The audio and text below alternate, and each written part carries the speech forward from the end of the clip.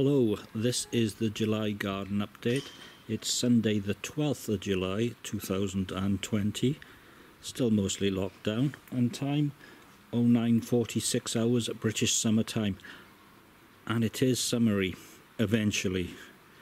June was a bit curate's egg, good in parts.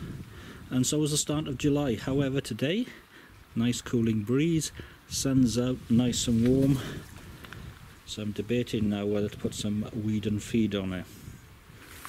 The strawberries, well, had one crop and now another crop is starting, which is just as well because they're ever bearers.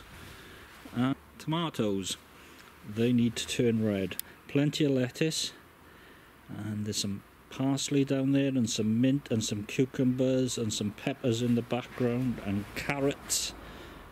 Bees yet more tomatoes and just in here spring onions. Uh, more tomatoes. Okay um, flowers. These are blue Danube which I didn't think were there but they are there. And these they are early main crop but could they be ready? We'll see. And talking of ready Red Duke of York, dying back. More summer onion, were some Red Duke of Yorks.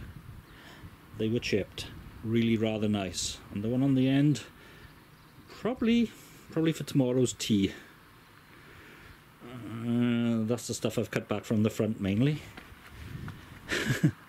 and as I said, I was going to put weed killer over all of this, but the amount of potatoes in there, well, so once they've all been dug up, we colour the whole lot.